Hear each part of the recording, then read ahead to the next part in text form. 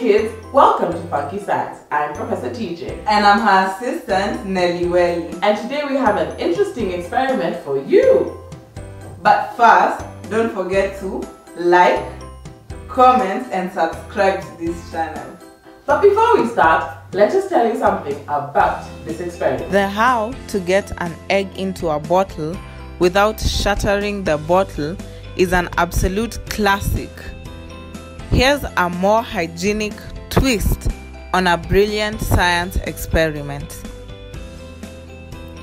For this experiment, you will need a conical flask, a boiled egg, a piece of paper, and a box of matches.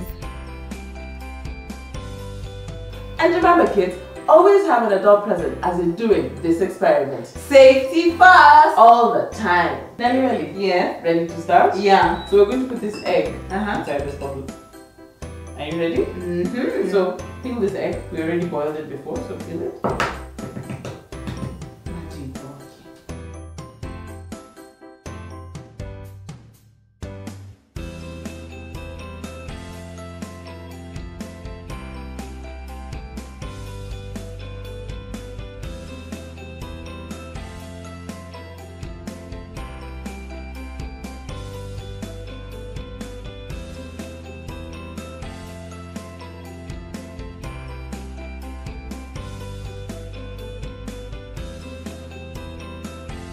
I want you to hold this egg for me. Then I'm going to cut off just a bit of paper. Then I will light it and throw it in Okay. to uh, our flask. Okay. And then I want you to take the egg and cover it up Okay. really fast. Really fast. Yeah. Got it. So.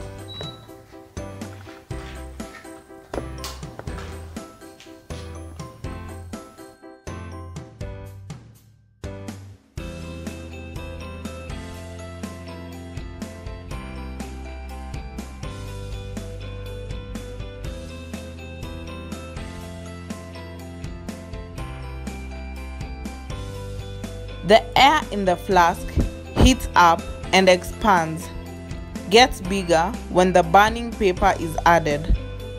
Since the pressure within the flask will be lower than in the room, when the air inside cools the air, pressure in the room is actually what is forcing the boiled egg in.